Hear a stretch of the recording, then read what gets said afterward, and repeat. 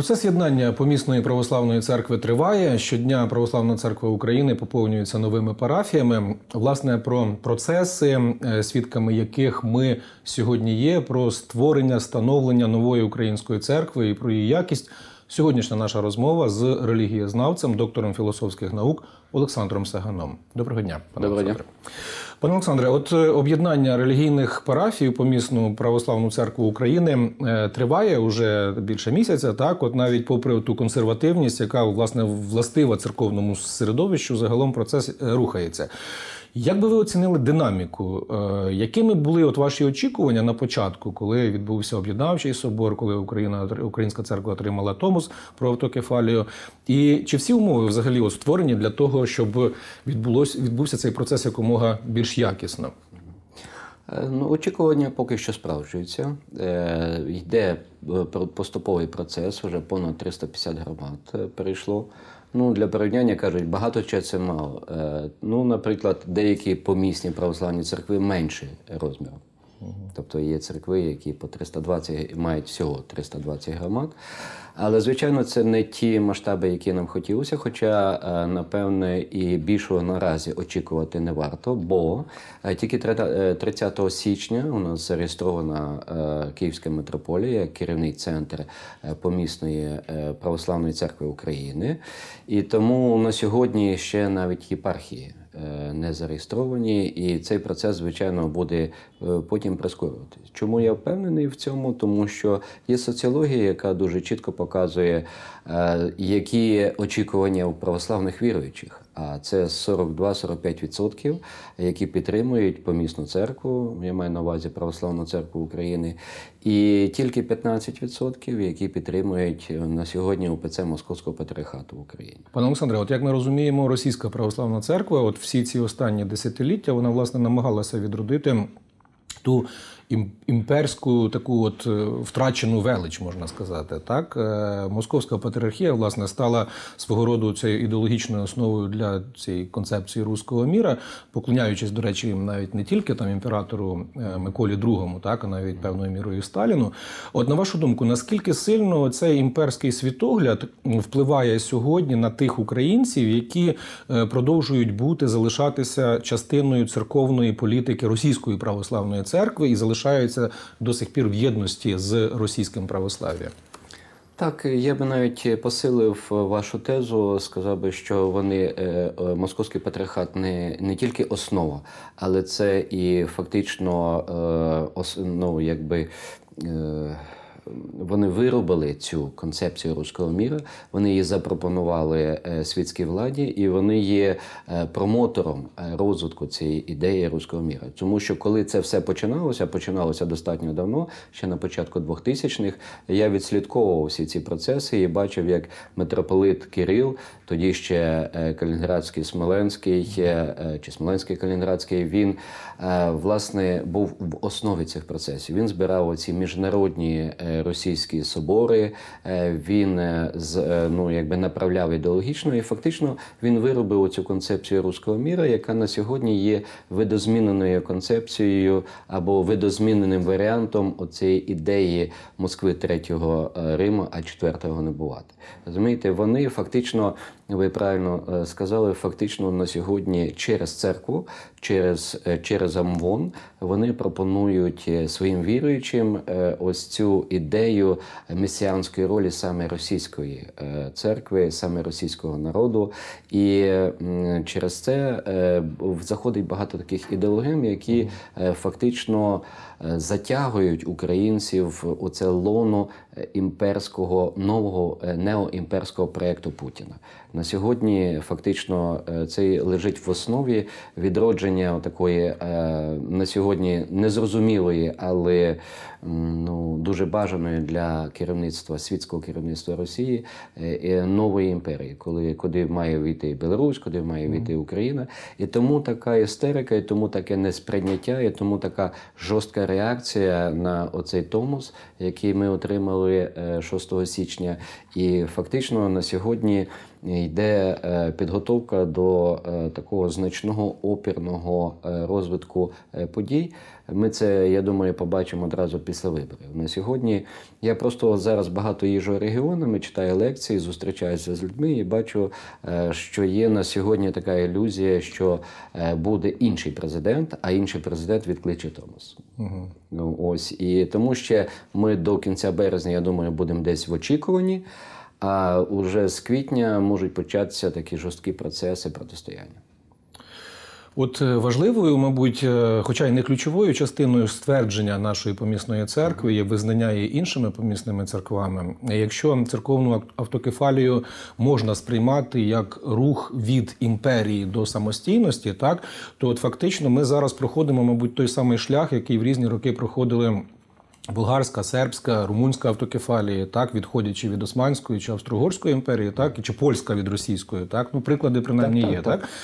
Чи є актуальним на сьогоднішній день, на вашу думку, от таке бачення реальності в ієрархів тих церков, які наразі в тих країнах, так, які наразі проходили цей шлях і зараз ще вагаються визнати чи не визнати українську церкву? Е, Так, абсолютно погоджуюся з тим, що це заверш, е, завершення е, розвалу радянської імперії, якщо можна так сказати, або Російської імперії, якому, якому зручніше, тому що на сьогодні це завершення державотворчих процесів. Про які ми, як експерти, попереджали ще в 90-х роках. І я е, був активно залучений е, до цих процесів на початку 90-х е, саме з цієї причини, тому що не буває, не буває політичної незалежності, коли є духовна залежність. Свого часу радник американських президентів з національної безпеки Збігнів Бжежинський він багато говорив про те, що відкри... залишення або відкриття духовного каналу впливу на людей це фактично нівеляція політичної незалежності. І він казав навіть, якщо навіть 20% релігійних організацій контролюються зовні, вважайте, що ви не маєте політичної незалежності. І він був в нашому випадку абсолютно е, правий. У нас понад е, 35% фактично е, релігійних організацій контролювалося зовні, і е, ми отримали війну. Війну через покоління, фактично е, нове покоління виросло, яке взяло в руки зброю і розвернуло проти своєї країни. Це надзвичайно е, велика проблема. І тому е, оце завершення цих процесів і митрополит Епіфаній навіть порівнює це е, отримання Томасу з другим хрещенням. Е, Це е, шанс на друге хрещення, тому що е, на відродження тих давніх українських традицій, які є, які були в Україні до приходу московського патріархату, і шанс також нам зробити іншу якість православ'я. Щодо визнання і міжнародного визнання, про яке ви кажете, так багато з церков це розуміють. Але в той же час вони намагаються якби е, ну, свої інтереси зберегти або, е, ну скажімо так, обміняти визнання на свої інтереси. Сьогодні ми, ми бачимо, це Румунська церква починає е, заявляти про якісь, про якісь умови щодо цього. Знаєте, мені це нагадує навіть вступ України в СОТ. Знаєте, коли е, з кожною церквою, е, з кожною країною, е, яка вже є в соті, треба укласти окремі угоди, і кожна країна висуває якісь там своє бачення, свої інтереси щодо цього. Ну, зрештою, це є життя і це є церковна політика. Вона, вона завжди така була. Це просто ми, можливо, не, не завжди на це звертали увагу, але в, в цих процесах дуже важливо буде роль особистості сьогодні е, митрополита Епіфанія щодо е, налагодження цих е, церковно-дипломатичних таких відносин і якби загальні процеси, які відбуваються у світі. Зрозуміло, що на сьогодні є протистояння між двома центрами. Це Константинополь і Москва. Е, Москва навіть оголосила про розрив е, відносин з Константинополем, і іншим церквам в цьому протистоянні теж треба визначатися. І я думаю, що на часі і дуже е, необхідно на сьогодні новий всеправославний собор.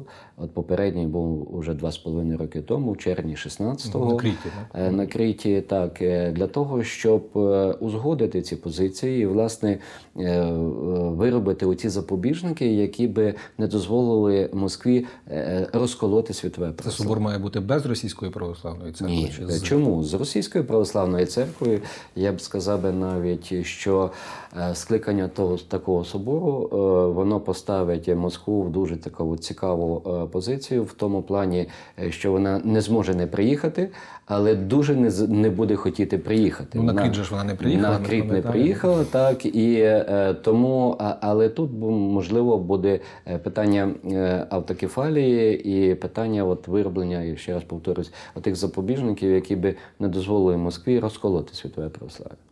Пане Олександре, повертаючись до московського патріархату в Україні, от е, якщо так згадати, то він же ж не завжди був таким залежним від російської церкви, як сьо- як е, сьогодні. Так, от згадаємо, що за попереднього предстоятеля Володимира Сабодана ми спостерігали навіть досить такі чіткі патріотичні рухи, так і спроби навіть вести діалог з київським патріархатом.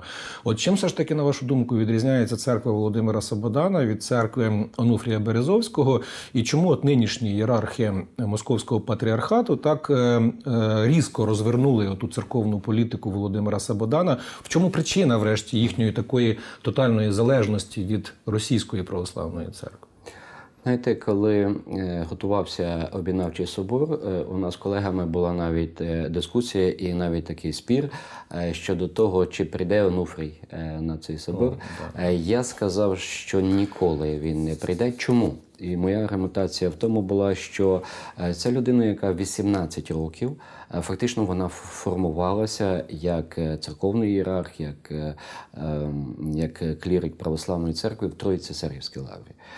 Це такий вишкіл російський і вишкіл в умовах домінування оцієї ідеї Третього Риму. Е, Потім ще два роки е, в П- Почаївській лаврі.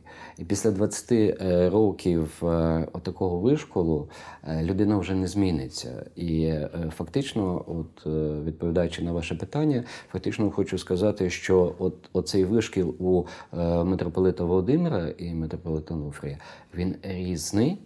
Е, Митрополит Володимир е, він все-таки виховувався в українській культурі, і е, за спогадами навіть його студентів, які вчилися в часи його ректорства в духовній академії, він каже, що ніколи. Такий український дух не був так настільки сильний, коли е, був саме Володимир Саботан. Е, чому? Тому що і українською мовою можна було вільно розмовляти, і колядки співалися, і завжди е, проводили вечори, присвячені Тарасу Шевченку. І митрополита Володимира була одна із найбільш потужних збірок Шевченкіани, які він подарував бібліотеці Вернадського, Національній бібліотеці Вернадського.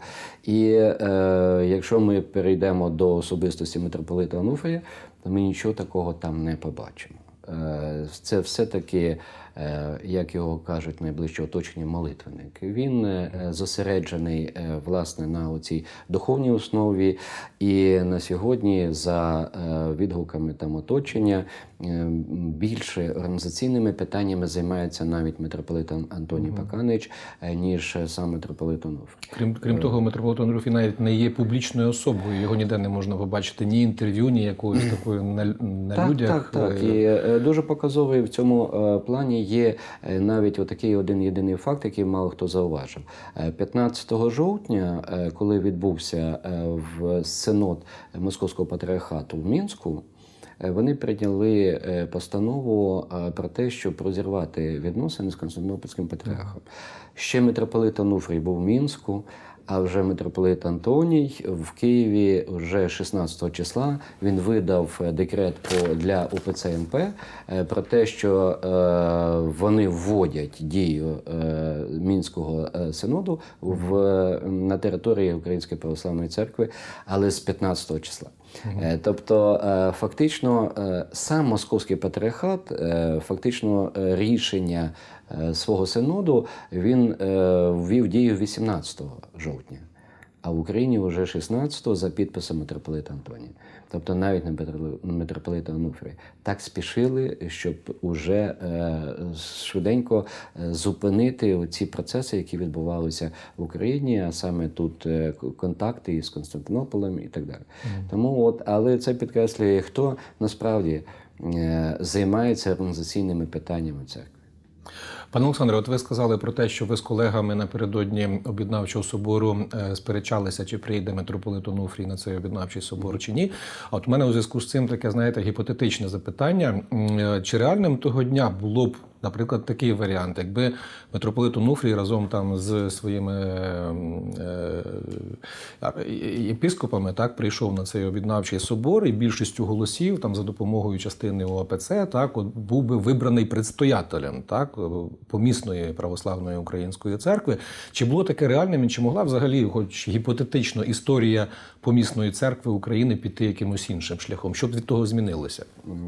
Е, Абсолютно так. Е, Це було абсолютно реально, тому що, е, наприклад, Патріарх Філарет він написав листа про те, що він знімає предстоятельські амбіції. Митрополит Макарій теж написав такого листа, але такого листа Константинополь не вимагав від Онуфрія. Е, В принципі, його запросили на цей собор і е, попередили, що після цього собору він не може бути митрополитом Київським і всієї України. Тобто, е, фактично, він міг прийти абсолютно ви праві е, на собор, і більшістю, навіть якщо б Київський патріархат об'єднався з автокефальною церквою, а це 42 єпископи і 15, це 57 єпископів, вони не могли протистояти 90 єпископам. А там тільки е, ну, діючих 90, а є ще певна частина. Чи вони не скористалися таким? Е, Відповідь по попередньому питанні: 20 років вишколу в руському мірі. Е, Вони це навіть не розглядали. Е, І це не розглядалося взагалі е, у них. І взагалі у них, знаєте, є ще з е, грудня 1996 року діюча постанова Синоду УПЦ е, МП, тоді вони ще так називалися офіційно, про те, що питання автокефалії не може навіть виноситися на розгляд церкви. Е, І ця е, постанова синоду не була скасована, і до сьогодні вона е, діє. І тому вони дуже ну, нервово ставляться до будь-яких питань, зв'язаних з автокефалією, саме і в зв'язку з цим також. І тому фактично Онуфрій упустив свій шанс очолити помісну православну церкву. Е, Це було б, е, знаєте, багато е, ну, людей, особливо з Київського патріархату, казали, це несправедливо. Так, це дуже навіть несправедливо. Чому? Тому що Київський патріархат і автокефальна церква, вони багато років боролися за цю автокефалію, за цей томус, за визнання цієї автокефалії. А плодами могли б скористатися ті, які протистояли всі часи. Але це ми беремо з погляду е, цього часу і цих е, ну, кількох років. Через 10-20 років ситуація зміниться е, на повністю. Відійде це покоління єпископів, прийде нове, яке вже не буде знати оцих от е, перипетій цього протистояння, яке не буде втягнути оце, от, знаєте, щоденне е, пере... Так, але ж їх висвячують предстоятелі ж, в принципі, вони ж вирішують, хто буде е, займати місця ієрархів ці, які Так, будуть так, відходити. але от е, ми е, якраз і говоримо про те, що в новій помісній церкві хотілося мати нову якість, а в новій якості е, у нас е, єпископи обиралися єпархіа- лекційними соборами єпархії. Е, Тобто, ем, коли ми говоримо про те, що зараз е, е, імена єпископів ми взнаємо тільки коли їх висвячують, і, і хто вони, і що вони, і інколи шукаєш якісь дані і не знаходиш тих даних, де він взявся взагалі. Знаєте, то в давніх українських, і це є, до речі, і в грецькій традиції, це повинно бути публічно.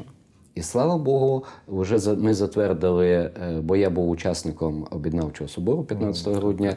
е, Ми затвердили статут, е, де виписана ця процедура, що оголошуються кандидати, і з цих кандидатів вибирається хтось один. І цей публічний е, якби простір виноситься. Пане Олександре, от якраз про якість нашого майбутнього українського православ'я я хотів би ще з вами поговорити. Митрополит Епіфаній переконаний, що Українська православна церква ніколи не перетвориться на модель російської церкви. Отже, наш предстоятель каже, що, хоча українська держава і зробила багато для авто- автокефалії, вона не залежатиме від влади. Е, Чи можливо от сьогодні вибудувати якісь запобіжники на майбутнє? Чи достатньо того статуту, де там прописані, скажімо, якісь новації, щоб українська церква ніколи не перетворилася на таку, знаєте, фарисейську модель російської православної церкви? Ну, це дуже бажано було б, і ми дуже надіємося на допомогу в цьому греків.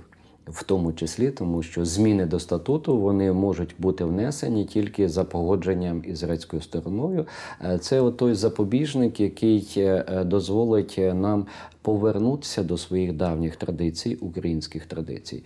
Е, Багато інших є ще Тобто традицій. які називають Київською Володимировою церквою. Так, так, так. Е, е, Багато є ще інших традицій. Це демократизм, це в більша увага до людини, і це, зрештою, нова якість самого, самого проповідництва, самої катехізації.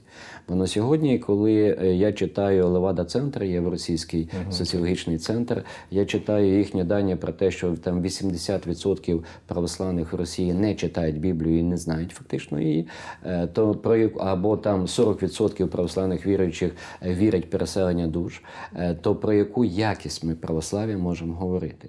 І е, хотілося б, щоб відбулися зміни саме десь у цих аспектах щодо того, щодо якості катехізації, щодо розуміння і знання.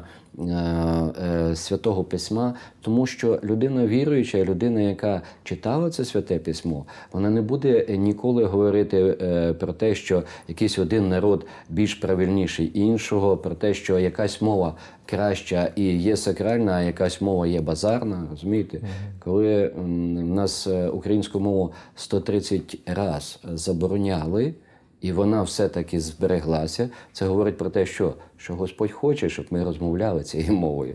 Е, і, е, е, і от коли йде таке категоричне заперечення цього, ти розумієш, що люди не читали Святого Письма. Вони не, не, не чули слів Павла про те, що краще в церкві п'ять слів сказати зрозумілою мовою, ніж п'ять тисяч незрозуміло. І багато інших речей, про які ми можемо говорити. Я е, дуже задоволений і підтримую ідею митрополита Епіфанія про те, щоб ми йшли через демосковізацію церкви, тобто позбавлення оцих імперських рис. І їх надзвичайно багато збереглося.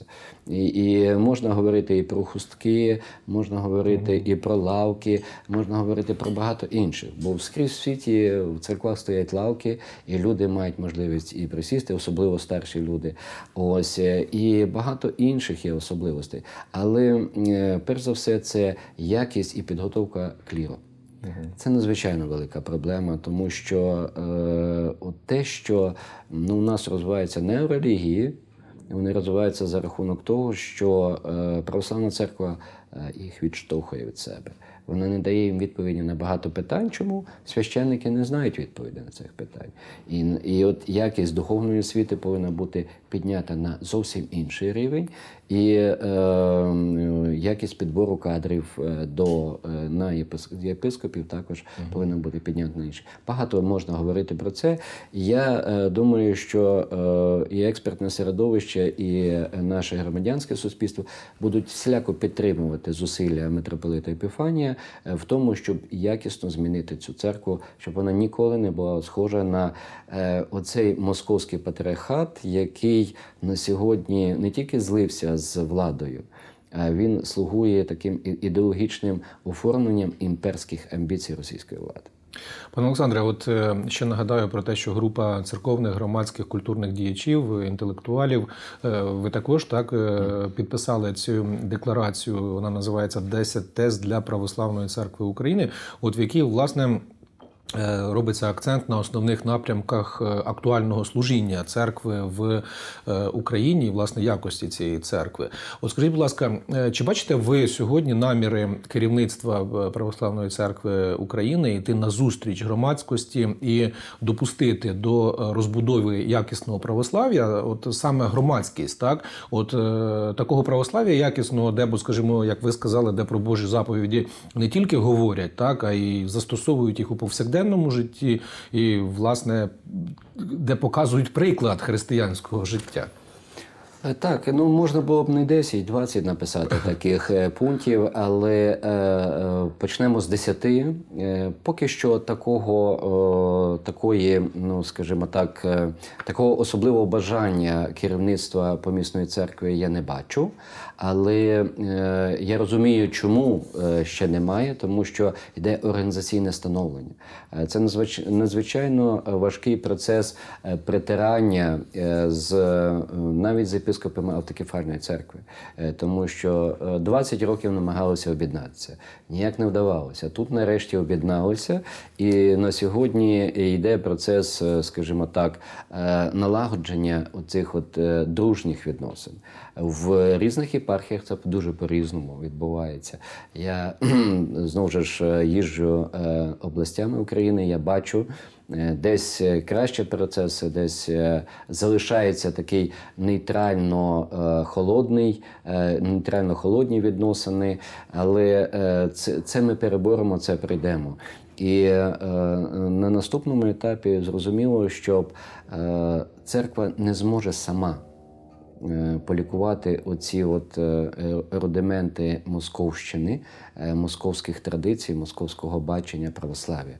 І тут їй дуже необхідна допомога громадянського суспільства. В 17 столітті, власне, адептами такого громадянського суспільства були братства, православні братства, завдяки яким православ'я збереглося. Е, тому що якби не братство тогочасні, е, фактично ми можемо говорити про повну ліквідацію православ'я. І як е, конфесія, як релігійного напряму на території України. І е, на сьогодні, якщо е, єпископат, якщо керівництво помісної церкви це зрозуміє, е, церква отримає шанс церква отримає потужний, е, потужну допомогу, е, перш за все, інтелектуальну і організаційну щодо цього. І я думаю, що оці зрушення почнуться. Щоб ми не мали ілюзій, не всі хочуть цих зрушень. Ми повинні теж розуміти, що багато Це церковний консерватизм багато єп, єп, єпископів і багато кліриків вони не звикли е, працювати в умовах, е, коли вони не найрозумніші. Розумієте, е, я я це бачу, е, наскільки вони е, якби ревно сприймають будь-які там не то, що зауваження, а навіть якісь історичні посили до ну, того історичного досвіду, який у нас був. Бо я у себе на Фейсбуці час від часу ставлю там питання там боріт. Е, я не проти боріт, але проти того, що е, вони не не, не миті, не ухожені, е, і діти їх бояться і називають бабаями. Розумієте? Тобто раніше у нас такого в Україні не було. І оце засилля, воно прийшло з Московщини. І от, знаєте, колись навіть в царські часи казали, що три головні ознаки священика, ну, папа тоді називали. Це глас, чрево і влас. Розумієте? От дуже би не хотілося, щоб е, і в подальшому е, ознаками священниками були були саме такі ознаки. Ми хочемо е, бачити інтелігентного, інтелектуально підготовленого, сучасного священника, якими є дуже багато православних священників на Заході, в Греції, в Румунії. Я от недавно був в Сполучених Штатах. Знаєте, якість підготовки підготовки священників, саме священників, і їх поведінка, їх спілкування з людьми. Е, ну, мене просто вражає. Я вже навіть відвик від е, такого, що священник в гущі людей, е, що священник в такому дуже діалогічному режимі спілкується від дітей малесеньких до старших людей. І він завжди знаходить якесь е, слово е, підтримки. е, За ним ходять діти, вони спілкуються з молоддю, вони проводять якісь акції. Для мене це фантастика. Але я думаю, що це реальність для України, і ми можемо дуже швидко це до цього досягти. Дуже дякую, пане Олександре, за цю надзвичайно цікаву розмову. Я нашим глядачам вже на завершення нагадаю, що ми сьогодні розмовляли з релігієзнавцем, доктором філософським, філософських наук Олександром Сеганом